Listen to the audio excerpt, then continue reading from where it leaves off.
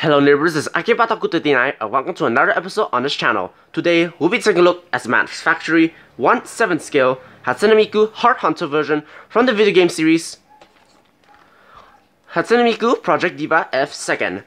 Now, if you cannot tell from my outro and my channel art banner, I'm a big, big Hatsune Miku fan. And to be honest, the term big is kind of an understatement. I can go to the extreme from getting all of her merchandise, the Dakimakuras, the pillows, to hell, even attending the Miku Expo 2017 Malaysia concert. But the question of whether that concert is well managed is a whole nother story of itself. But of course, we are not here to talk about the uh, event nor Miku herself, we're talking about this figure itself. So, does this figure do the modules justice? Well, let's find out. Let's start off with the box. Now, the box art, it is basically perfect. It really reflects the whole devilish, uh, succubus-like theme, which I really like, honestly. It is well printed, is well textured, and, well, there's nothing else to say. It's basically perfect. The window box, I believe it is, well, basic enough to entice one or two people to buy this figure. That is, of course, you can find it. Which, by the way, if you're curious of why I get this figure, I get this figure from the website Mandarake. It is a great website to get all sorts of, well, anime figures, mangas, video games, and such, so I recommend you go over there if you need to get something for a quick buck. So, box art wise, I'm just going to give a casual B. So, without further ado, let's open this figure.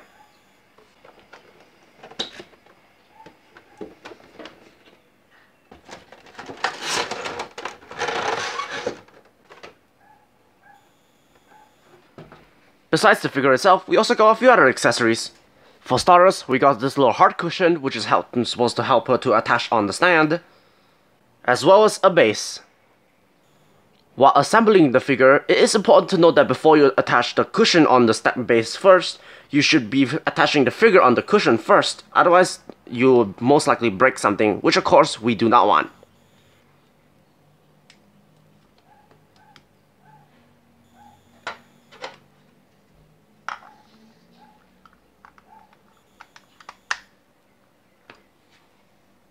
Now let's talk about the aesthetics of the figure. But for starters, this figure it is not illustration accurate. Well, the posture at least. It, the illustration shows her lying down while eating an ice cream. This one shows her standing up and possibly hunting for man's heart, which goes by the name, I guess.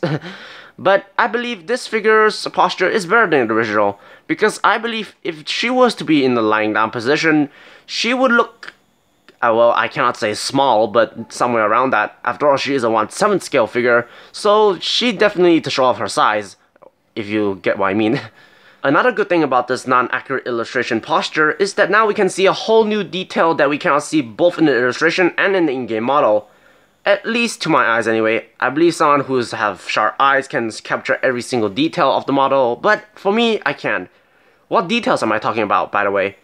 Well, for starters, we can now see how her tails is attached to her suit, how the underside of her feet looks like, to hell, how her hair is braided from behind. So this is one of the reasons I really like about anime figures is that they show details that you probably never noticed. Before we conclude the aesthetics of the figure, I want to point out something that pretty much a lot of people has missed out, and that part is the suspenders. The reason I'm pointing out the leg suspenders is that I noticed something that actually blows my mind. Is that the, the sculpting of the suspenders on the skin is actually separately sculpted. They could have easily go to the lazy route and sculpt them as one single piece, but they didn't. They actually put that little extra little detail that pretty much no one will actually care about. It is these kind of attention to detail that I have to really give props to the sculptor. This kind of attention to detail shows that how much dedication he is putting into this tiny figure. So whoever the sculptor is, which I'll put the name here later on, I can really say thank you.